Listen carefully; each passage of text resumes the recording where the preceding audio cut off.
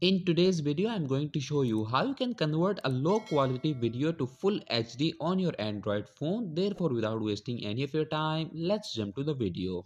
So in order to convert a low quality video to full HD, you need to open your Play Store and from the Play Store, you need to download this application called Video Converter Compressor.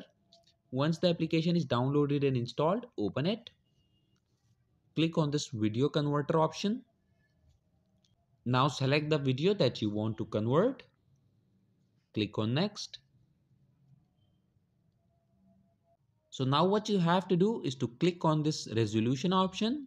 In front of resolution, it's showing the current quality of this video. So click on it and select 1080p. And after this, all you have to do is to click on this convert option. Click on start now.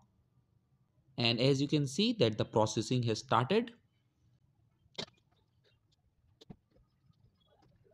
And that's it.